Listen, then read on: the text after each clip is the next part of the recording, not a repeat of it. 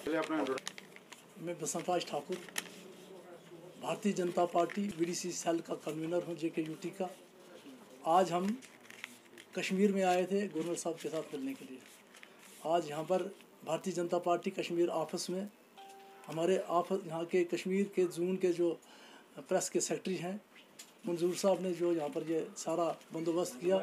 मैं इनका धन्यवाद करता हूँ, आपका धन्यवाद करता हूँ। मेरे साथ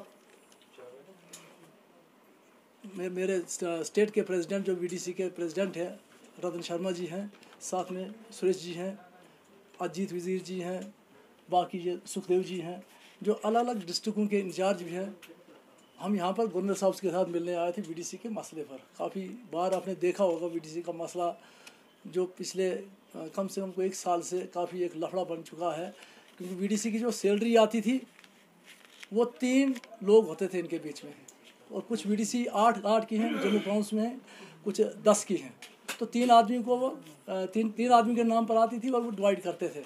बस दो हज़ार पंद्रह के बाद जब उनके अकाउंट में ये सैलरी चली गई, उसके बाद एक कुछ लोगों लोग कोर्ट के अंदर चले गए कि ये सैलरी हमारी है।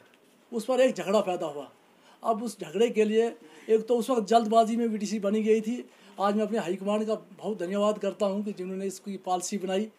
और मुझे लगता है दो चार दिन के अंदर इस पॉलिसी पर, पॉलिसी का जो आर्डर निकलेगा, इसीलिए आज हम गवर्नर साहब से मिलने के लिए कश्मीर में आए थे।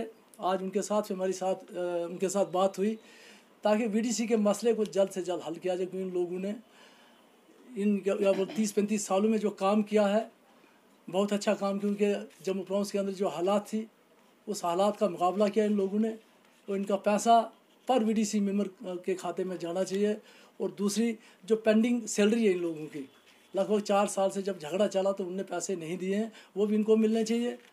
दूसरी बात दूसरी बात, कुछ बीडीसी ऐसी हैं जिनको सैलरी मिली नहीं, क्योंकि इनका झगड़ा पड़ गया तो उनको किसी ने पूछा नहीं। उनको भी सैलरी मिलनी चाहिए। तीसरी, इनकी, यानी कि रिटायरमेंट की एज जो है, उनकी कोई लिमिट ना हो, क्योंकि जब फिजिकली फिट है, गाँव के अंदर उसने ड्यूटी देनी है तो फिजिकली फिट जब है तो उसके पास बंदूक रहनी चाहिए। अगर वो फिजिकली फिट नहीं तो उसकी बंदूक किसी उसकी उसके फैमिली को मिलनी चाहिए। और उनकी रिटायरमेंट जब होती है तो गवर्नमेंट की तरफ़ से कम से कम पाँच लाख रुपये उनको मिलना चाहिए। और और पांचवी हमारी जो बात थी वो जनरल एस जो आज ड्यूटियाँ करते हैं बेचारे कहीं थाने में कर रहे हैं कहीं और जगह पर कर रहे हैं उनकी सैलरी जो अठारह हज़ार से ऊपर बढ़नी चाहिए। इन चार पाँच ले- बातें लेकर हम गवर्नर साहब से मिले। तो और आज हमको आश्वासन दिया है खास करके वीडीसी की जो